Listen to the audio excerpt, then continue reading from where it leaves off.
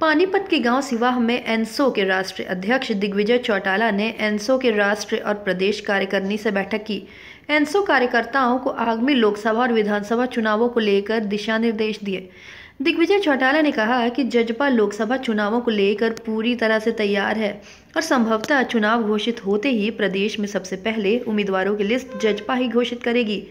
दिग्विजय ने पत्रकारों के सवालों पर दिल्ली हरियाणा भवन में हुई मुख्यमंत्री मनोहर लाल और एनलो प्रदेश अध्यक्ष अशोक अरोड़ा की मुलाकात पर कहा कि एनलो गठबंधन नहीं, बल्कि विलय होगा।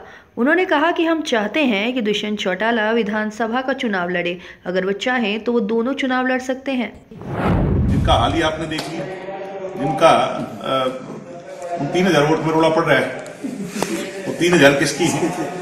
अभी काम की बात होनी चाहिए सीरियस पॉलिटिक्स की बात होनी चाहिए। उनके पास कोई मुद्दा नहीं है वो तो हमारे पीछे पड़े मगर हम उनके पीछे नहीं पड़े हम सरकार के पीछे पड़े हैं जनता के। मैं तो डेवन से ही कह रहा हूँ मगर मेरी बात को कम तवज्जो देते हैं क्योंकि मैं शायद राजनीति में नया हूँ या ये माने कि हम स्टूडेंट पॉलिटिशियंस को आप जो है ना ये वो समझते हैं ये तो कहते रहते हैं इनका काम कहना है। मैं तो डेवन से कह रहा हूँ ये सब मिले भगत।